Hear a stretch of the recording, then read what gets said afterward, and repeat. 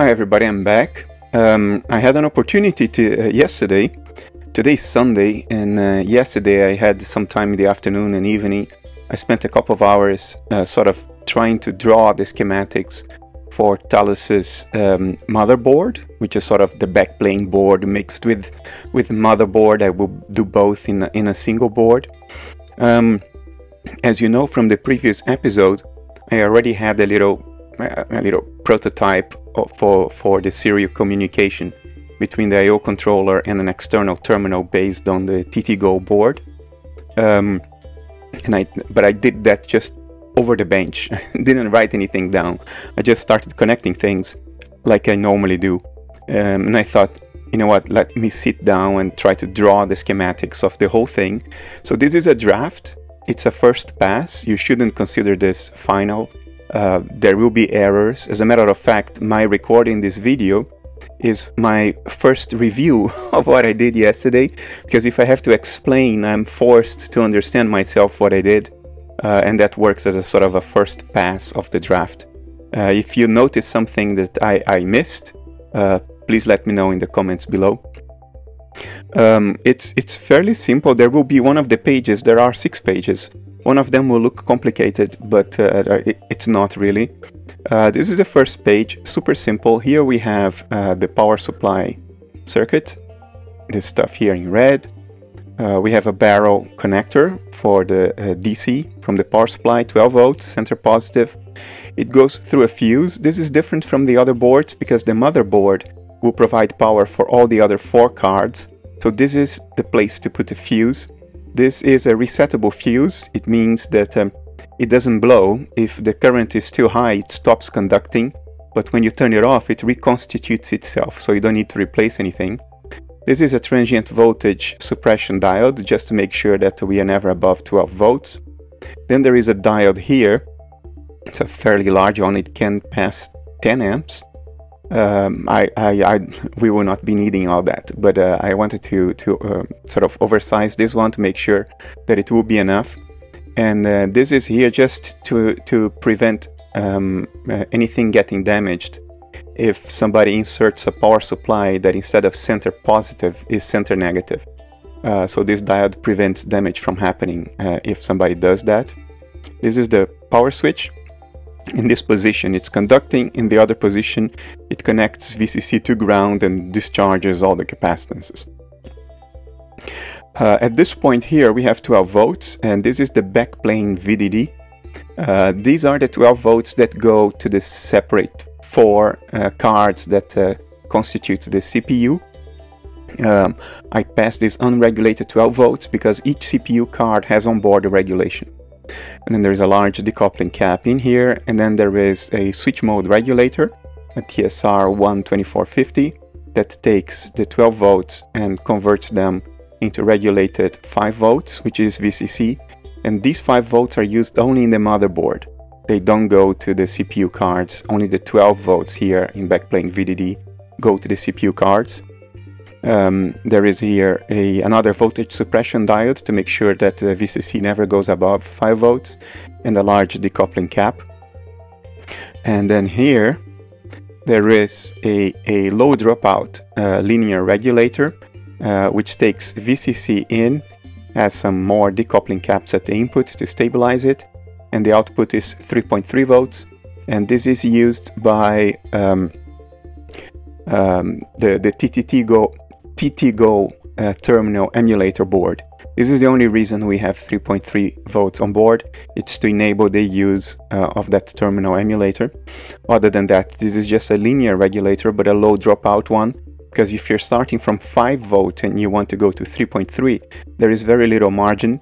So we have to minimize the dropout voltage of the regulator. That's why I'm using an LDO probably this is the LM1086 is the most common uh, LDO there is. It's a TI part. Others also make it. Uh, this is the power LED with the in-series current limiting resistor of 1K. I'm using a buzzer, just like I used for Cerberus 2080.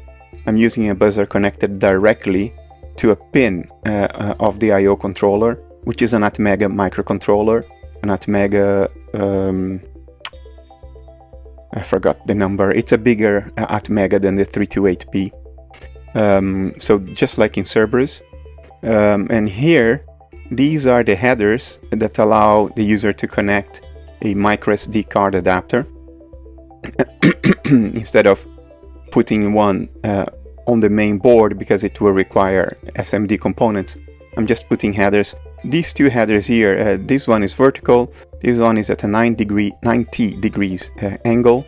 Uh, the pinouts are different uh, to, to fit with different adapters that are out there in the market. And if you have a micro SD card that doesn't fit either of these two pinouts, then I put a general purpose SPI header um, and then you can just use jumper wires to connect this header to the adapter you do have. Then you can choose the pinout just by rewiring the jumper wires in whatever appropriate way there is. Let's go to the next page now, the communications page. It will look complex, but uh, bear with me, it is it's certainly not nearly as complex as it will look. This is the I.O. controller. Yeah, that's an Atmega 1284P uh, uh, dash PU for the DIP package. Uh, this does all the I.O. in Talos. Uh, and it's the master of the system. It's the one that will interpret what users are users are typing in. Uh, uh, will have um, an embedded assembler, and will issue tasks for the CPU.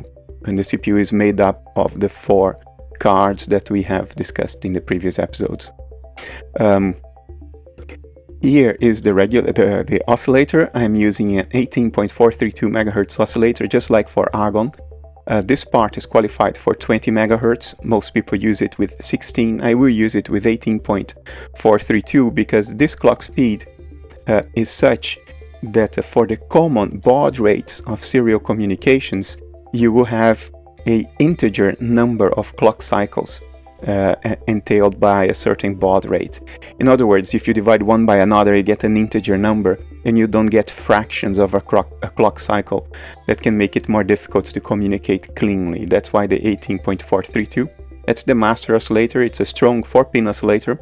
And through a 33 ohm resistor to match the impedance of this trace here, I feed it into the crystal 1 pin, pin 13 uh, of the I.O. controller um, the registry or the fuses have to be changed uh, to allow the I.O. controller to use a 4-pin strong oscillator as opposed to putting a crystal between crystal 1 and crystal 2 pins like almost everybody does. I want to use an external oscillator because it's this oscillator that will also provide the clock for the CPU when I and I want the I.O. controller and the CPU to be synchronous. So the same clock goes through another impedance matching 33 ohm resistor through this line here in red. It goes to a frequency divider. If you look at this name here, FreqDiv, that's the frequency divider. I'm using a synchronous counter um, and I will show this to you. The frequency divider circuit is this, is this stuff in red. Um, I will not explain it here because it looks unnecessarily complicated when you actually connect all the physical wires. I will explain it separately. In fact, I will explain it here. Uh, you can't see me anymore, but uh, bear with me. This is a normal counter uh, with a parallel load. So the parallel load, the, the value that can be load, the, loaded in parallel on these four pins is given by a dip switch. So if I don't load anything and I just bring it out of reset, uh, and I just uh, hit here on the clock to count, uh, you will see that uh, it will count to 16 or from, from 0 to 15. Uh, and then there will be a dip on this signal here. And what's happening here? What's happening here is the following. I'm taking the, the uh, carry output. So this carry output is only active when you count up to the maximum number, which in this case is 15 from 0 to 15. Uh, and then this will become a 1. And then it's inverted and feeds into the parallel load input of the counter. So when we get to 15, we will load in parallel the value on the dip switch. And this process uh, takes uh, a, little while. Uh, and this value here will go to 0 from 1 it, because for as long as the carry is 0, it will be inverted, and then we will get a 1 here. But when we parallel load this value with uh, uh, uh, this value in here, just before we parallel load the value on the dip switch, this will become a 1. And it will trigger the parallel load. And if it's a 1 here, it will be inverted and become a 0 in here. And then it will continue to go if you keep on hitting the clock. And after 16 cycles, there will be another dip. There you go, there is another dip. Now, as it is, this is working as a divide by 16 frequency divider. Because you see, uh, the clock cycle, if, if we take this second line here as the clock, which is this line here, if we pretend that this is a clock, uh, uh, the clock starts counting here on the rising edge and ends here on the other rising edge. And if you count the cycles 1, 2, 3, 4, 5, 6, 7, 8, 9, 10, 11, 12, 13, 14, 15, 16 cycles. So for every 16 cycles of the original clock, we have one cycle of this derived clock if we take this signal as the clock, as the derived clock. Now you can program it to be uh, different ratios of the original clock. For instance, if I program the dip switch this way and I continue to hit the clock, look at what will happen after it finishes one cycle and reloads. Look. Now it's different, you see, because now when it reloads, instead of reloading 0, it will reload this number here, which is a much higher number. So it will get to the end much more quickly and the carry will become positive more quickly and that positive will be inverted and become the, uh, the, uh, the, the falling edge of this derived clock. And in this case, if we count from this rising edge to this rising edge, we have one, two, three, four cycles. So now it's a divide by four. And I can keep on doing this if I increase it, increase the number here. When it parallel loads, it will be closer to the point where the, the carry uh, will be activated. So it will divide it even more. Look, now it's a divide by two. You see? So this works as a clock divider, but with a major problem, which I will illustrate by changing the parallel load value. And if I do it again, I'll do this so to illustrate the problem for you. So here we have two cycles. Uh, uh, from this rising edge to this rising edge here, uh, we have a number of the original clock cycles. So this is a divide by 1, 2, 3, 4, 5, 6, 7, 8. This is a divide by 8 now. In other words, there are 8 original clock cycles within every cycle of the derived clock. The problem is that the duty cycle is now skewed Normally, you have a duty cycle of 50%. In other words, within a cycle, the clock is 50% of the time high and 50% of the time low. But in this case here, it's low for only a little bit and it's high most of the time. This is a problem because in the CPU, remember, the clock is inverted. So uh, uh, the CPU clock will be the inverted version of this derived clock. And that means that uh, while on the rising edge of the derived clock uh, uh, will be um, latching a value, on the falling edge will be changing the control signals. But then the next rising edge is very quickly afterwards and we would not have time, give time for the circuits to stabilize their outputs after we change the control circuits. We will latch immediately before the outputs are already stable given the new control inputs. We don't want that. We want a clock with lower frequency, so you want a clock divider, but we want the duty cycle to be 50%. And that's what this little circuit here does. And the only addition is, instead of taking the, the derived clock directly from this point, we feed it to the clock input of a D flip-flop, which will turn into a toggle flip-flop. The D flip-flop has two outputs, Q and the inverted Q. This little circle here means that it's inverted. Uh, if we take the inverted output and wire it back to the D input, every time we toggle the clock, the invert, inverted value uh, of the input will go into the input. In other words, if, uh, if this is 1, sorry, sorry, if D is 1, then this output will be 0, and in the next cycle, D will be 0. And then this output will be 1, and in the next cycle, D will be 1. So every time you hit this clock, the output Q, which is just the latched version of D, uh, will flip, will toggle between 1 and 0. And that will ensure that the duty cycle will be 50% and it will add another factor of 2 division. And I will show you how, how that works. So if I take the system out of reset and um, let's let's let's do a, a, large value here on the parallel load so we don't divide too much so we can see better on, on, on the oscilloscope here how the signals behave. If I start hitting the clock, uh, in the, fir the first run it has to go to 16 until it parallel loads it and then we will have the proper behavior as you can see there. Now what you see here is uh, on top that's the primary clock which will be 18.432 megahertz. On the lower line we have this point here which is the same as what we had here on the top. So what you, what you see on the lower line is what you would have seen here on the circuit on top. Circuit on top. And here on the middle line, we have the actual derived clock. And as you can see, it has now a duty cycle of 50% and an extra division because if we load the same value here and we hit the clock, you will see that uh, here on the top, this line here is the same as this line here, as it should. But uh, the line that is actually the derived clock now with a duty cycle of 50%, which is correct, this line now has, for each clock cycle here, we have one, two, three, four of the original clock cycles. So this is now a divide by four, while here it was a divide by two. Within each of these cycles, there were two of the original clock cycles. And the reason for this is that uh, the clock input of the flip-flop is triggered only on the rising edge, not on the falling edge, and that adds a division by 2.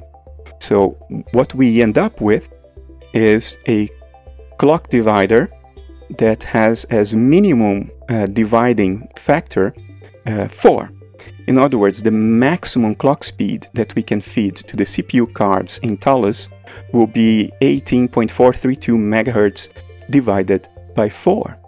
And if you do the math, it will be a little over 4 megahertz, um, less than, than 5 megahertz. And that's fast enough. Um, but we can divide it down to below 1 megahertz now because of the extra factor of 2. And whatever we do, we end up with a, a duty cycle of 50%, which is what we want. So if I change this value here, uh, so now it will divide by, by a larger factor. And if we just see what will happen, you see the duty the duty cycle is still 50%.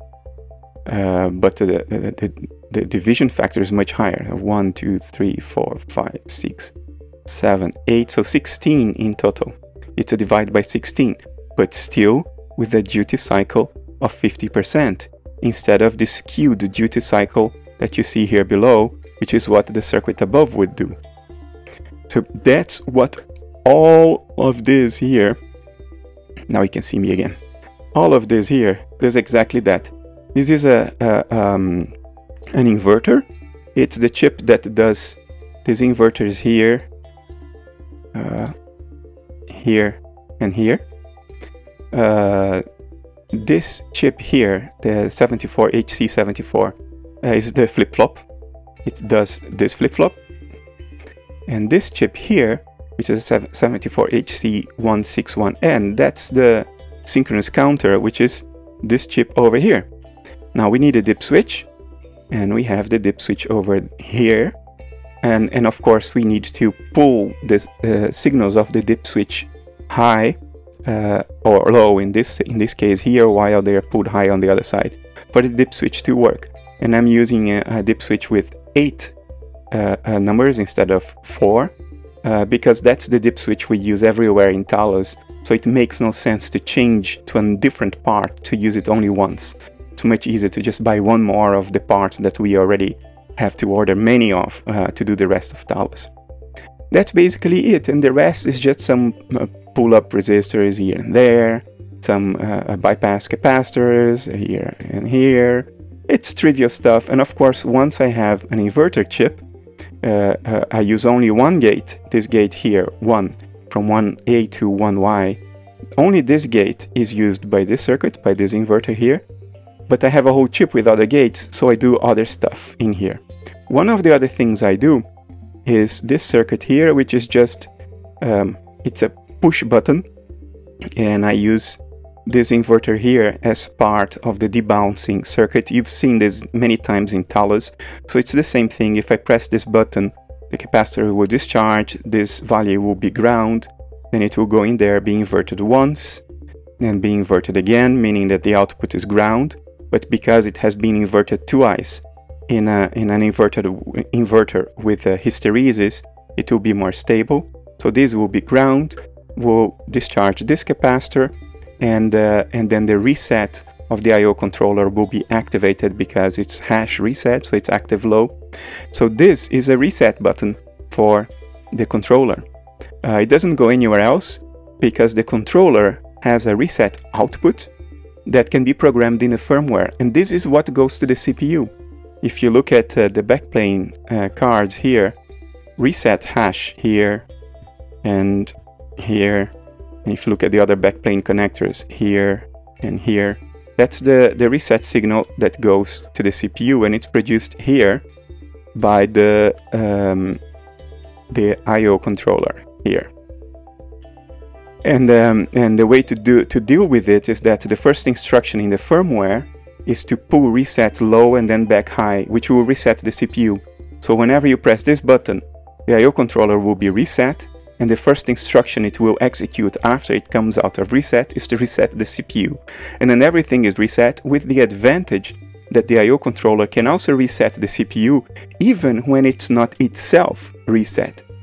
Uh, and the firmware code can make use of this, uh, of this uh, possibility. Okay, so we explained this stuff here on the top. This is just an, an FTDI connector uh, uh, which goes to uh, TX0 and RX0, which are these two pins here. And this is just to program the firmware into the I.O. controller. So I dedicate one of the serial interfaces for programming the firmware via a little connector on the side of the board. Um, um give you a brief overview of the signals. So this, this has two serial uh, um, uh, uh, lines. Uh, RX and TX0 are for programming the firmware. RX1 and TX1 is the other serial line, and that's to communicate to a, to a terminal. Uh, that's the sound line that goes to the buzzer. And then we have a couple of control bits here, here, here, here, here, here, here and here. I will explain them as we go through uh, through the, the charts. Um, over here, uh, we have SPI uh, and these will go to the microSD card. So master in, slave out, uh, chip select, SCI clock, and master out uh, as SPI clock, and master out, slave in. These four signals here are what you saw over here on the SPI adapter, or the, the, the connections for the SPI adapters. And this is to talk to a microSD card these two other signals here, uh, they are the clear outgoing mail flag and the set incoming mail flag, which is to synchronize with the CPU. We've discussed this in previous episodes. Now, why am I putting 33 ohm resistors here? These are the signals that are driven by the I.O. controller. So the I.O. controller is sending these signals out, and I use these resistors just to do some impedance matching and uh, uh, reduce ringing uh, on those lines uh, for the MISO line, which is master in slave out, that's driven by the SPI by the um, uh, the SPI system, the slave, like a microSD card adapter, and then I put the the resistor close to where it's being driven from. You want to put these impedance matching resistors as close as possible to the pin that drives the line. Although, you know, it would work even if you put right in the middle of the trace as well, but best practice is to put it close to the pin that drives the line because then it's really impedance matching. If you put it in the middle of the trace, it's not impedance matching anymore, but it still works as a sort of a, a very subtle low pass filter because this resistor together with the parasitics of the trace will absorb the higher frequencies which are usually responsible for ringing, reflections and that stuff. But if you can, put the resistors close to the pin that drives the line. That's why these are close to the connectors here, while these are close uh, to the I.O. controller uh, for the lines that the I.O. controller drives. Okay, um, Now, uh, as I mentioned, RX1 and TX1, uh, they are the serial communication with a separate terminal. I decided not to use flow control anymore. In the previous episode, I showed you an attempt to do RTS, CTS flow control. That doesn't work very well because to really do it well, we have to do that flow control at the level of individual bits, filling the buffers. And to do that in the Arduino IDE, you really have to go low level. And, um, and I didn't want to do that because this is supposed to be a didactical project. So they wouldn't work very well anyway. Moreover, they require at least two extra pins, maybe three if you're going to use DTR as well, which I was planning to. Uh, but then I would run out of pins. I only have two pins available now. Uh, Crystal 2 is not general purpose, I cannot use it for anything. And uh, the analog reference voltage can also not be used for serial communications. So I decided I'm not going to use flow control and the communication speeds will be low enough that we don't really need it. You know, this thing is character based. We don't really need it. So only RX and TX are being used. Now, the prototype you saw in the previous episode entailed this chip and the stuff around it. Um, no, no, no, not this. It entailed. Uh, where was it? Yeah, it was this chip. Um, that uh, that I was using because you see here this this is a 74 HC125 so it's basically four buffer lines each one with a separate independent output enable. Uh, but this works with the VCCs between 2 and 6 volts. So if you power it with 3.3 volts then it will spit out a buffered signal at 3.3 volts and not 5 even though it will recognize 5 uh, at the input. So this works as a level shifter, translating uh, the signals back and forth from 3.3 to 5 volts. In the case of the TX1, that's the transmitter line that you see here. It comes in here through a 3.3k ohm current limiting resistor, and then it comes out, that's for A, and then in 4Y it comes out, and that's the TX1 at 3.3 volts. And this is what will go here to the TTGO header that you can connect to the TTGO terminal emulator. So TTGO will see 3.3 volts and it will spit out 3.3 volts, which through the 3.3 kilo ohm uh, current limiting resistor, it will go in here into input 3A and come out from input 3Y. And that then goes through another uh, 74125 but this one is now powered by 5 volts. This one was powered by 3.3. This is powered by 5 volts. So when this signal here comes out in 1Y, it will be at 5 volts, which is what the microcontroller likes to see. So we have another uh, level shifter, but this chip does more than that. Not only does it level shift uh, uh, the RX1 signal coming from the, the TTGO terminal emulator, it allows you to select where the, the RX signal comes from. It can come from the TTGO emulator, or it can come from here. And what is this? This is a uh, RS232 level shifter. And the chip is a MAX232N. It's the most popular uh, level shifter for RS232. Uh, because the RS-232 protocol works at higher voltages, negative voltages, minus 6 and plus 6 if I remember correctly. So you have a 12 volt swing. Um, so you need to translate, you know, signals at 0 and 5 volts to signals at minus 6 and plus 6 volts. So this is what this chip does. It requires four extra capacitors to do this uh, voltage boosting, these four capacitors here. You can look at it in the data sheet. These are 1 microfarad capacitors. I will be using ceramic capacitors so I don't need to worry about polarities. Otherwise you would need to pay attention uh, on the polarities. You can read all of this in the datasheet.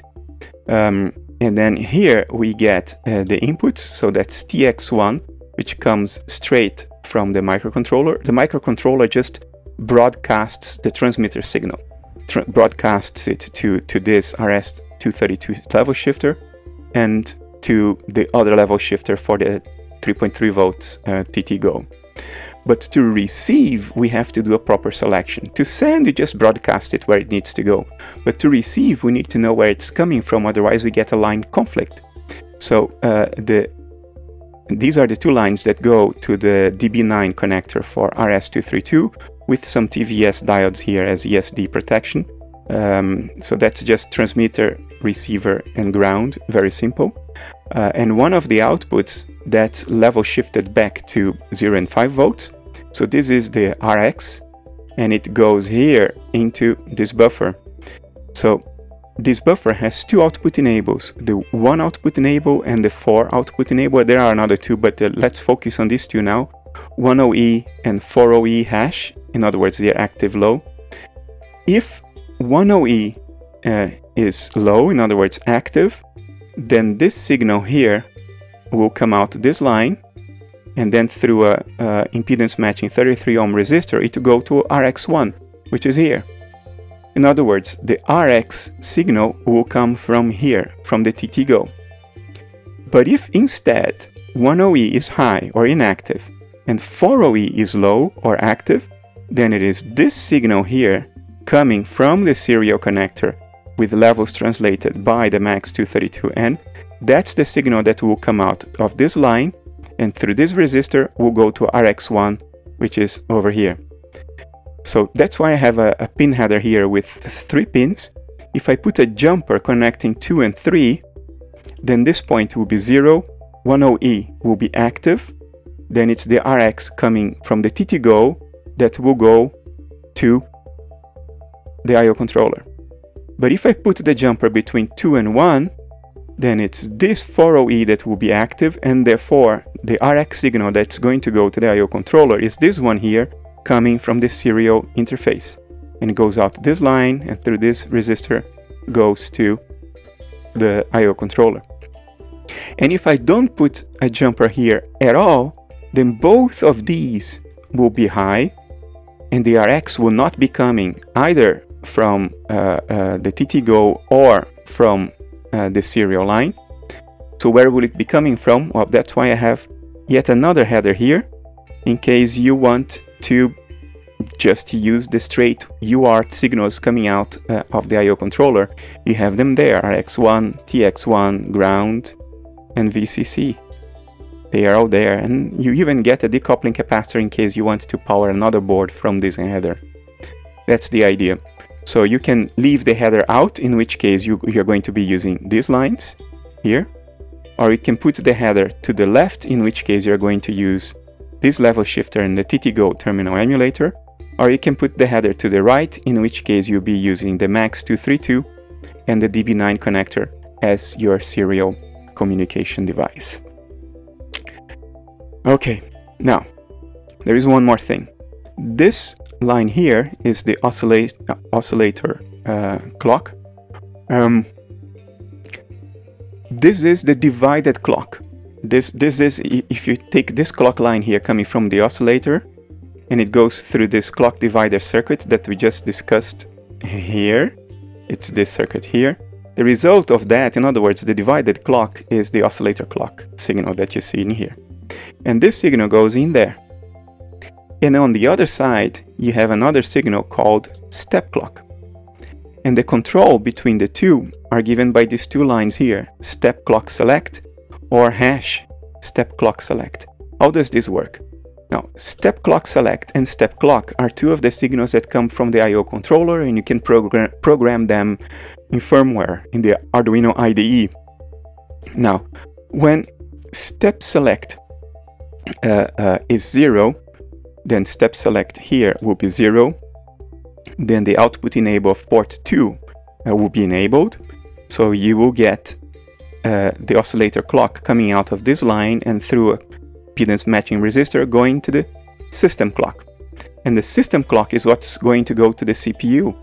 Uh, if we look here, uh, where is it? Here. That's the system clock. This is what goes to the CPU card. Well, this is what goes primarily to the control card of the CPU and the control card will translate system clock into the clock lines that go to, to all, the, all the other cards. Uh, however, if step select uh, is 1, then look, step select comes here, and what comes out is the inverted version. So if step select is 1, hash step select will be 0, therefore this hash step select will be 0, and it's port 3 that will be active. In other words, system clock will now be step clock. Step clock as it comes out of the 3Y line through this resistor. And uh, what is step clock? Well, step clock is this line. And what uh, this allows us to do is to have a mode in the firmware where you can step through your code by pressing a key on your keyboard and that key will pro produce the clock for the CPU. So we can literally step through uh, fully under our control every transition of the clock, falling edge and, and, and, and, and rising edge, controlled by the keyboard. And we can look at the LEDs on the different cards to see exactly what's going on every time there is a, a clock transition, either a rising edge or a falling edge. And I thought this is pretty cool. Um, and, and the firmware can select between the actual automated clock or oscillator clock or the step clock based on this control line here, step select.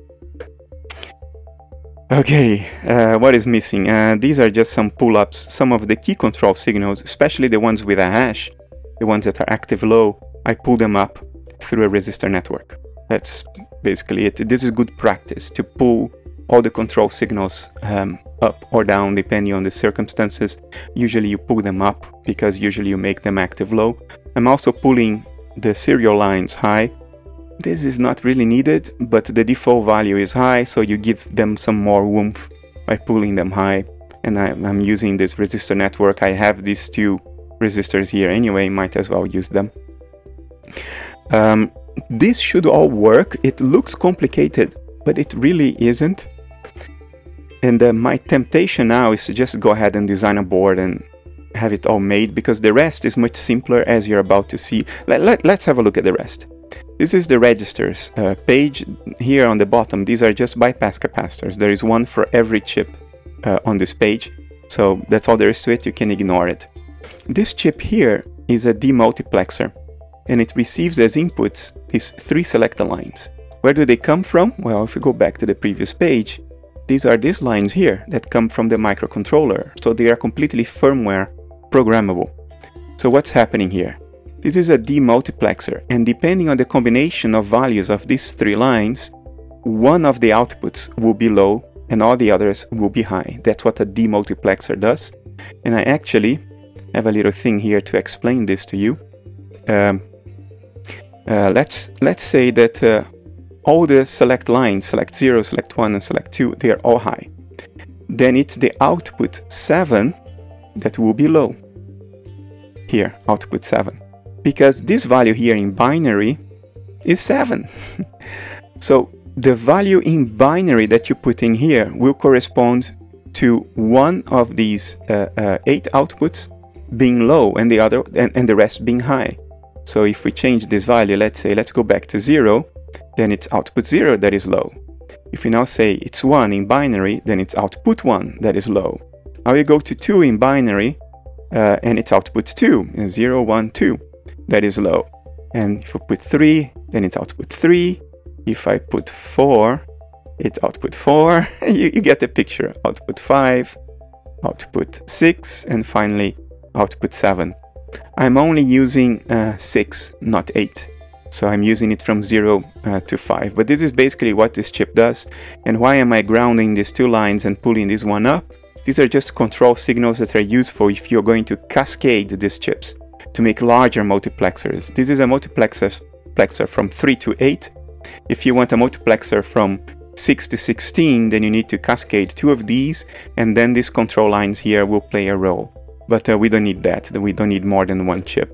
And that's why these two lines here, G hash 2A and G hash 2B, they are, they are grounded, and G1 is pulled up through a 3.3 k ohm resistor. Ground goes to ground, VCC goes to VCC, these are the three select inputs. They are all pulled up because it's good practice to pull every control signal up or down, depending on the case, preferably up. And these are the outputs, Y0, Y1, Y2, Y3, and Y6 and Y7 are not being used. So if I don't want this to do anything, I can just set these values here to 111. Then I'll activate Y7, which is not connected to anything, and then nothing happens. Now, each of these six outputs, uh, when they are selected, they go 0. And where do they go? They go to the clock enable uh, input of the three the, the these registers, the 74HC377. These are 8-bit registers. So I have six 8-bit registers here. And the clock enable is given each each one of them is given by one of the lines out of the multiplexer. So by selecting these three signals here, putting a number on them, I can select one of these six registers to be clock enabled. So when the clock comes on the clock input, here, see the clock input here, when the clock comes, only the one that has clock enabled enabled will latch the value on the inputs uh, because these are registers. Now what do these registers do? These are their names and the names tell you what they do. So this first one here, that's local instruction memory address low. So that's the low byte of the instruction memory address as produced locally by the motherboard and not by the CPU. Same thing here, this is the local instruction memory address high, so that's the high byte of the 16-bit address. And this is the local instruction memory data, so that's the data byte for the instruction memory. And here the same for the data memory. Remember, Talos uh, has separate instruction and data memories. So this is the local data memory address low, local data memory address high, local data memory data, the single byte. And the clock signal is this signal here, latch. Where does this come from? Well, if you go back to this page, latch is another control output of the I.O. controller, so it's programmable in firmware. So what does this whole thing here mean? It means the following. The inputs of all of the registers are these lines here, PA, PA0 to PA7 it's a byte. And it's the same in every one of these six registers. All of them have these lines as inputs. Where do these lines come from? They come from the port A of the I.O. controller. That's a programmable byte.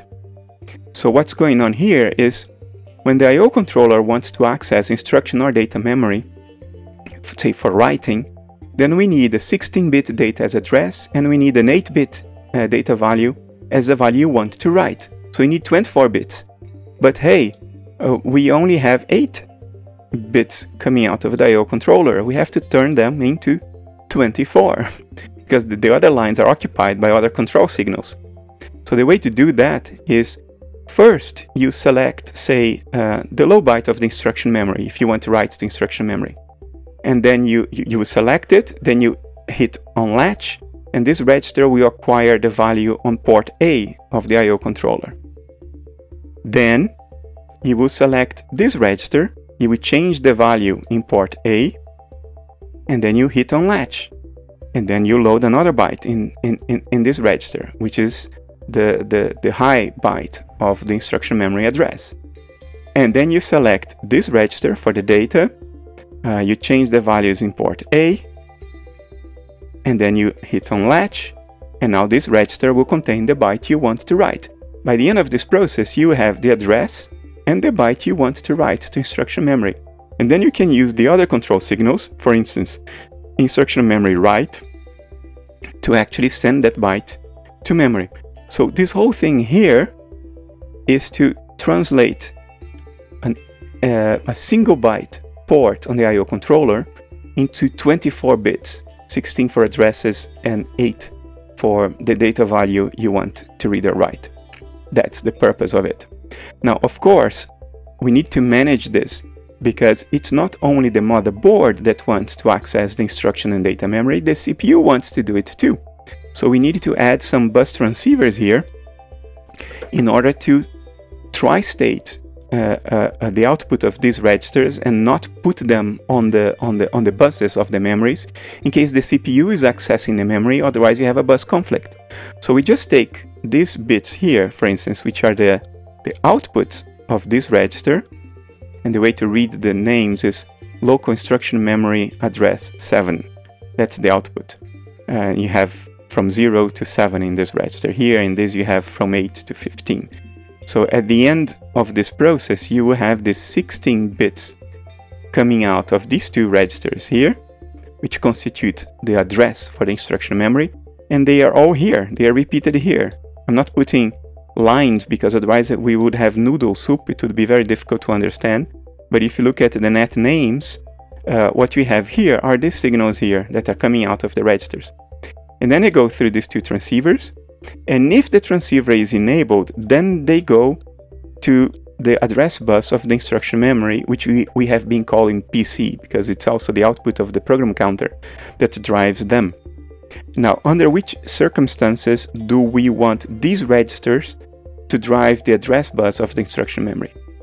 Well, when a CPU is halted. Because if the CPU is not halted, the CPU is always fetching instructions from instruction memory. Every cycle, that's what RISC processors do.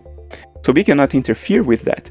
So that's why we have this halt line here going into the output enables of these two transceivers uh, and only when halt is low, these are active low inputs, and halt is also active low. So when halt is low, the CPU is halted. It will tri-state its, its own bus transceivers.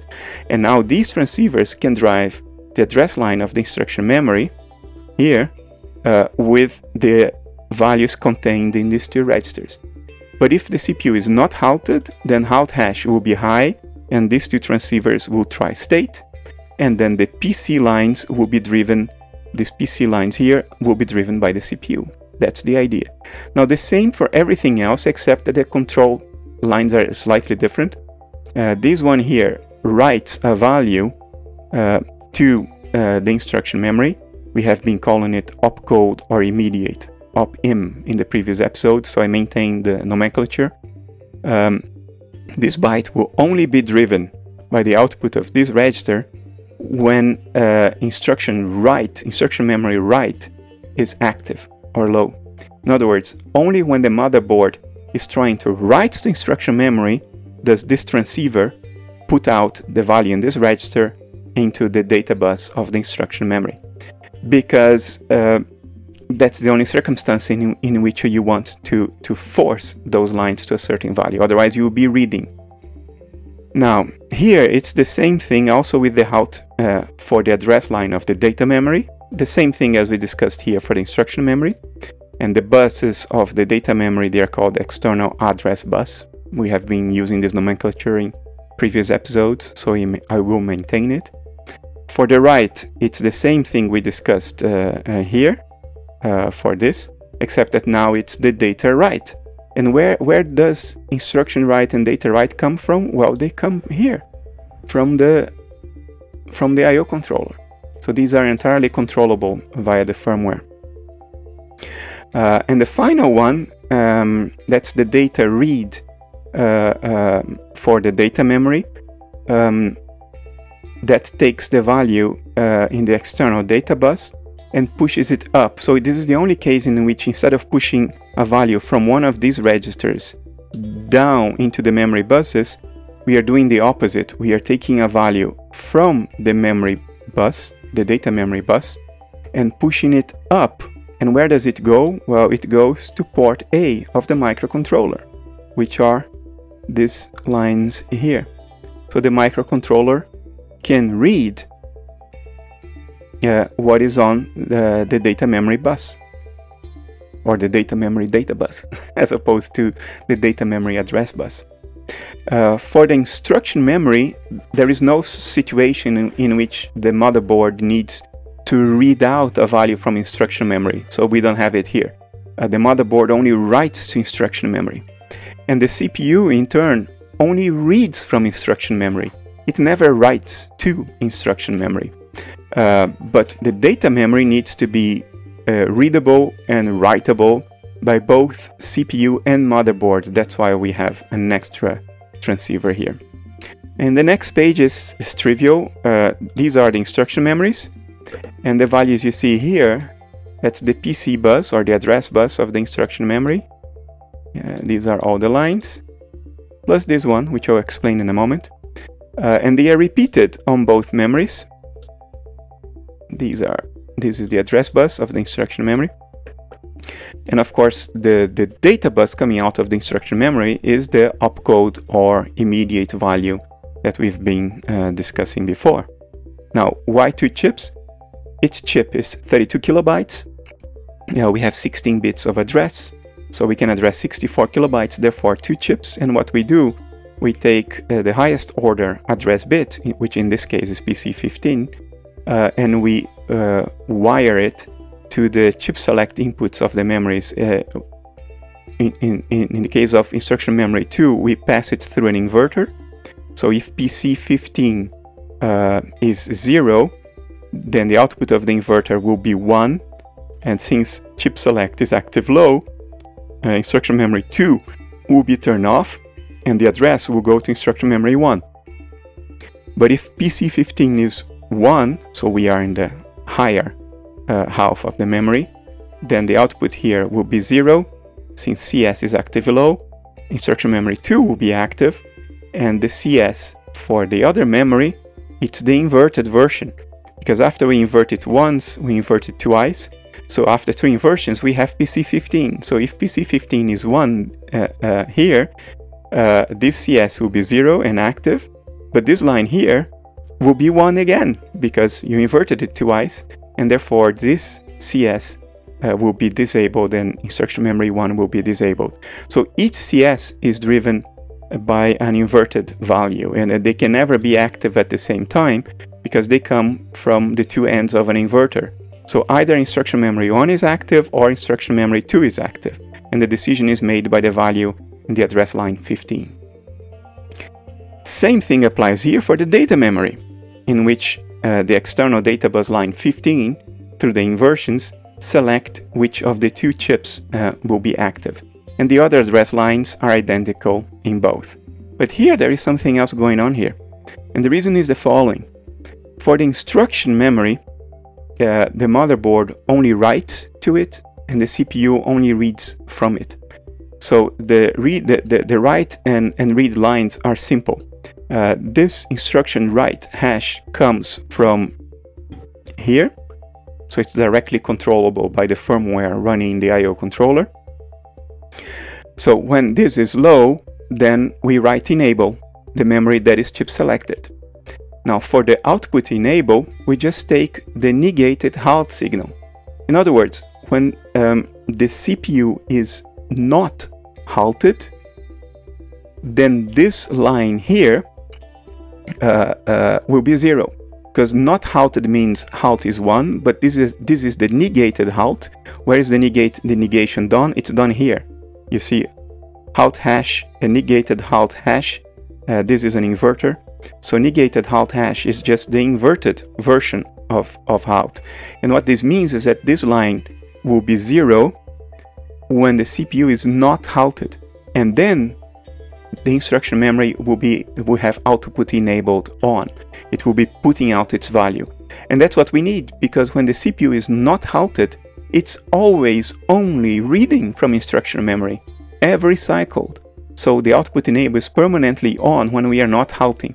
But if we do halt, then the output enables are always off uh, because then the motherboard is under is controlling the system. You know, the I/O controller is controlling the system, and the I.O. controller only writes, never reads uh, from instruction memory.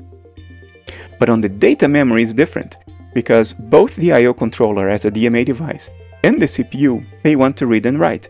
So now we have to use two signals. Uh, data memory write comes from here, from the I.O. controller, but uh, uh, the other write signal comes from the CPU. If you look here at the, the, the back plane, here we have the read and the write signals that come from um, the CPU cards. So they need to be taken into consideration as well. And I'm using an AND uh, uh, 74HC08 for AND gate. Um, why an AND and not an OR? Because what we want is if either the I.O. controller or the CPU is trying to read, then we should do a read. So I should use an OR. No, because this is negative logic. Uh, these signals are active low, so we have to use an AND to do what is a logical OR. In other words, if either of these signals is zero or active, the output should be zero. In other words, active. And you do that with an AND gate. So use an AND gate to AND the two memory writes for the data memory and the two memory reads for the data memories. and these go to the uh, to the uh, write enable inputs here, while this result here goes into the output enable uh, inputs of the two memories over there. Now we have the other two AND gates, and instead of wasting them, I'm taking two of the other control signals. This is the clear outgoing mail flag and the set incoming mail flag. They come from the I.O. controller. They are here and here. Um, but since I have these gates available and they are AND gates, I'm just putting the same signal on the two inputs of the AND gate and the output will be the same as the input. You know, whatever you end with itself, the result is itself, except that the output uh, will have more drive. That's why I call it the B-conf, because it's the boosted conf signal. Logically, it's the same as the input, but it's just coming out of a driver, so it has more woomph, and I'm doing this before I put this signal uh, um, into the backplane here. These are the two signals. Boosted, uh, uh, um, uh, uh, what is this? What does this stand for? Outgoing mail flag, clear boosted clear outgoing mail flag and the boosted set incoming mail flag. Uh, and I'm boosting them by putting them through an AND gate, an AND gate, in order to get the same logic value at the output, but with more drive before the signal has to go through the backplane connector.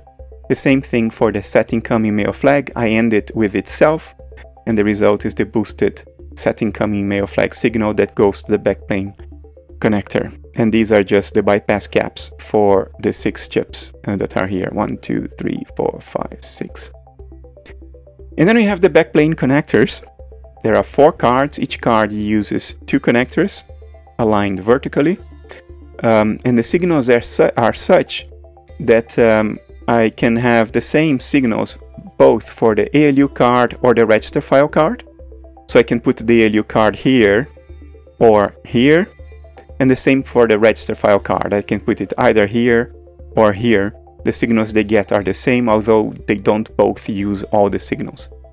Uh, but they are interchangeable across these two slots.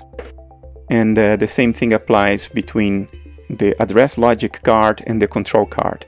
I can put the control card either here or here, and whatever is left, uh, I can put the address logic card there or here.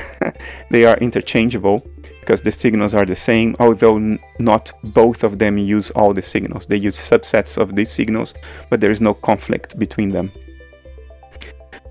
That's it. Finally, that's it. Um, I didn't catch any obvious mistake. Um, some of the stuff, for instance, this, I don't really need to prototype or even simulate this. This only requires attention uh, in order to make sure that the signal labels, the net labels, are the correct ones. I, I, I, will review it later. If you're reviewing it yourself and you catch some error, please let me know in the comments. Um, but I will review it more carefully later. I don't think it makes sense to build a prototype of this. It's so straightforward. It's a demultiplexer and six registers and, and, and seven transceivers. It, everything aligns vertically here. I'm not going to bother to prototype or even simulate this. I only need to pay attention and review it again. Same applies to this. This is just an inverter and this is just for AND gates. Only two are being used as logic gates. So this is just a matter of attention, making sure that all the net labels are the correct ones. I don't need to simulate or prototype this. Same applies to the backplane connectors. You just need to pay attention. There is nothing to simulate or prototype here. It's all passive. It's just wiring. Um, the power circuit, yeah, there, um, I don't need to simulate or prototype this. I, have done this enough times in my life. Now here, this we just simulated. This here we just simulated. It was this here below. It is simulated, so I don't need to bother with it. Uh, this button here, uh, we've done this a million times before. This is just some pull-ups, no need to simulate it. It is just a header, it's just wiring, no need to simulate it. This is just wiring. This is trivial, absolutely trivial stuff, which I already simulated. I simulated this two and this in the previous episode. Not simulated, I made a little prototype with these three components plus the passives around them uh, on a breadboard last time. What I could do is improve the prototype with this and, and, and the passives around all the necessary capacitors. Uh, I'm instead of going instead of using this header, I can just use jumper wires, but I can simulate all all this. Not simulate, I can prototype all this. That's what I'm going to do now. Um, I'm going to extend the prototype that I discussed in the previous episode um, with these two extra chips plus the serial connector and I'm going to update the firmware not to use flow control anymore to use only RX1 and TX1 and no more flow control this should be able I should be able to do this in, in an hour so I'm gonna do this now. I'm gonna go to the bench here uh, behind me over there um, and uh, play around with the breadboard. And with the magic of editing, you will see me doing it right now. Alright, so here we have the little uh, prototype. Um, you've seen most of this before. This is just an FTDI adapter for me to load uh, the code into the I.O. controller, which is an Atmega 1284p. This is the crystal. I'm using a 16 megahertz crystal for now, but I will use a 18.432 in the final design. I just happen to have this one lying around. Um, this is the first 74125. This is being used as a level shifter to and from 3.3 volts uh, when I use the TTGO as terminal. And it's the TTGO that is producing the image on the screen. And as you can see I've changed uh, the protocol. I'm not using flow control anymore. No RTS no CTS it's just now RX and TX send and receive at a given uh, baud rate which in this case is 19,200 19, bits per second it's fairly low but that's how we will start um, here I have a 3.3 volt. I'm not touching it because the, the tab uh, uh, is at 3.3 volts and I may be grounded. Uh, so this is an LDO, a low dropout regulator that takes 5 volts and turns into 3.3 volts to power this 74125 that serves as a level shifter for the 3.3 volt TTGO terminal. Um, the signals come from these two pins here, RX and TX come from these two pins here of the uh, Atmega 1284. Uh, this is the TX, the transmit. It goes through a 3.3k ohm resistor, current limiting, and then enters uh, this pin here at the back of the 125, comes out on the other side, and this is now at 3.3 volts. This is what goes to the uh, terminal, the TTGO terminal. And from the terminal, uh, we have uh, this wire here. This gray wire goes through 3.3 volts, comes into here, into the level shifter, uh, uh, and comes out via this red wire. And then we have this buffer here, which selects whether we are using the TTGO as a terminal or serial, the serial port, the RS232, which is here. And, and, and this is the MAX232, the chip that converts uh, the TTL levels to serial RS232 levels. Um, and this chip here selects whether the, the RX, the, the receiving signal, comes from the TTGO or from the serial cable which if you follow it it connects connects at the back of my desktop computer. So later on I will be using this computer as terminal running a, running a, a I believe a Tera Term a terminal emulator a VT100 terminal emulator now um, the the output enables of this chip here which not only selects between serial and the TTGO it also boosts uh, the 3.3 volt levels coming from the RX signal of the TTGO. It boosts them back to TTL levels or, 5 volts. Uh, not only uh, so not only it selects it's uh, it's also a sort of level shifter and the select signals which in the in the board design um, uh, go to some uh, uh, pin headers with jumpers, I'm using these two jumper wires here to play the role of the pin headers. And they are now configured in such a way that the RX comes from the TTGO. And if I type on the keyboard here, which is here connected to the TTGO, if I type it, uh, the I.O. controller will just echo it back. So there you have it. It just echoes uh, it back. Uh, it does nothing other than just to echo whatever I type. I'm typing a space bar now, and I press return to go to the beginning of the line. So if we look at the levels, um, this is the RX coming from the TTGO. So this is at uh, 3.3 volts. And indeed, you see, if I type it, uh, each square is one volt. Uh, the bottom is here on this line. So you have 3.3 uh, volt signal levels. That's what we see there. Uh, but then, through this resistor, it goes into the level shifter, comes out here, and through this green wire, it goes into the I.O. controller. So now if we look at the same signals on the I.O. controller, they are 5 volts. And the same thing happens the other way around. Uh, this signal here is the TX, the transmitter of the I.O. controller, and it's at 5 volts. Uh, but if we look at after it goes through this resistor, wraps around the back and comes out here, if you look at this, it will be 3.3 volts.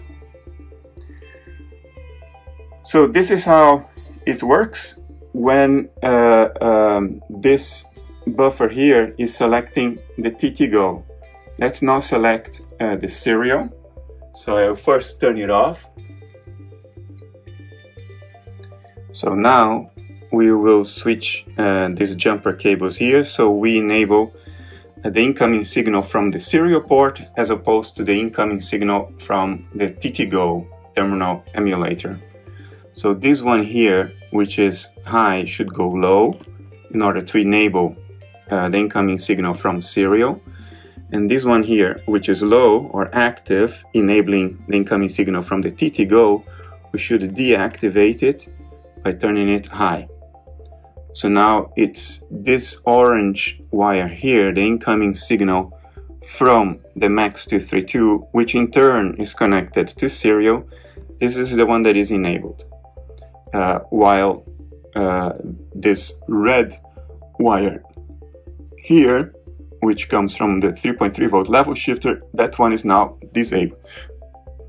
So we can turn it back on now uh, I have over voltage protection on and over current protection on because on a breadboard it's very difficult, very easy to accidentally create a short circuit.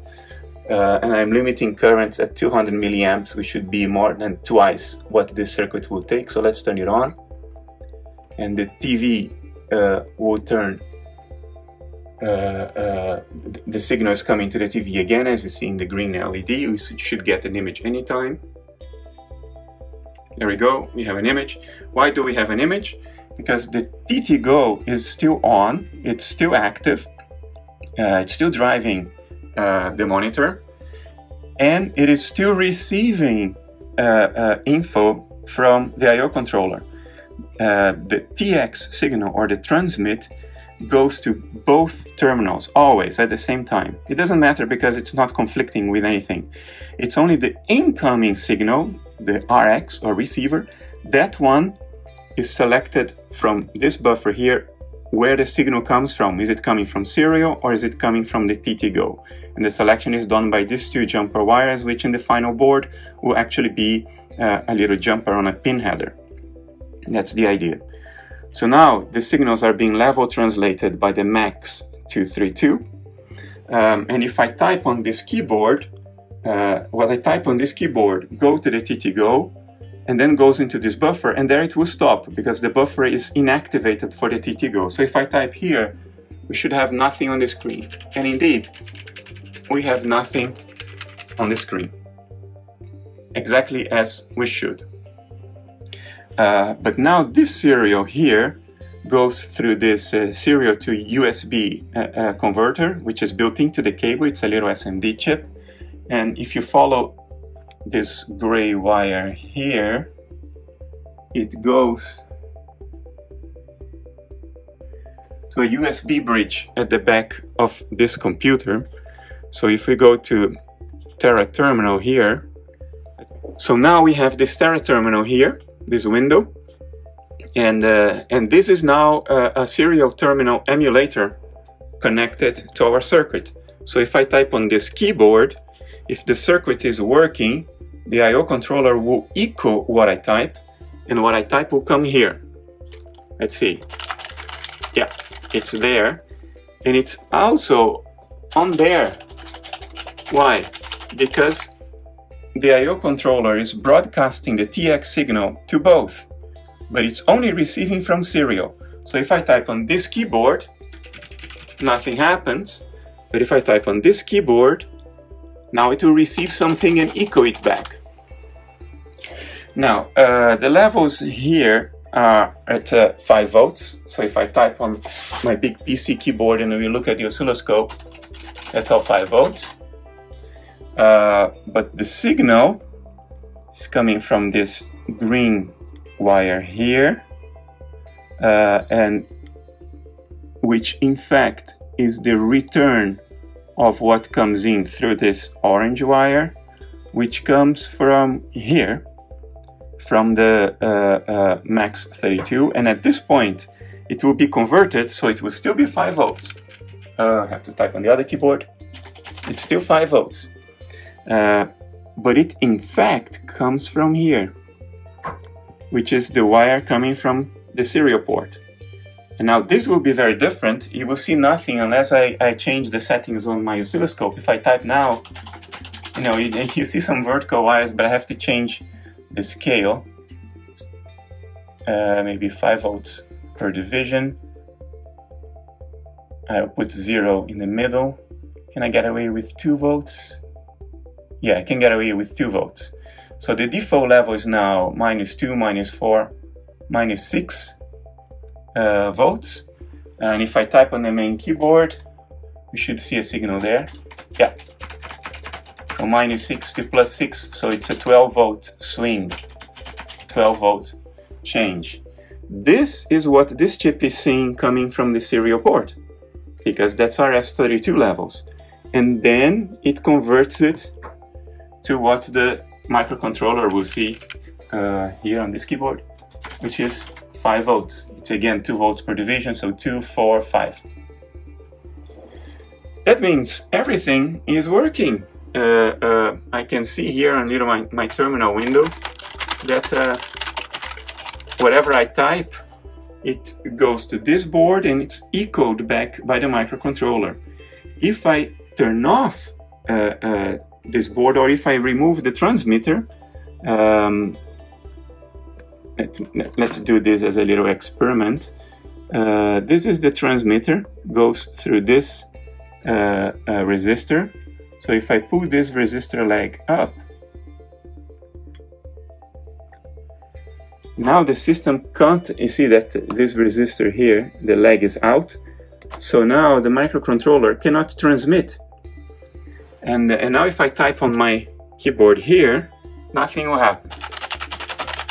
See? Doesn't happen here and doesn't happen there. Because the transmitter is out of the circuit. So we just carefully put it back.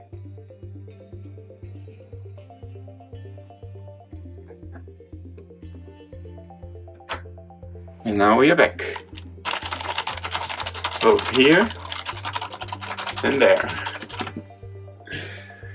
so this works just fine. Um, we can just uh, proceed with this project.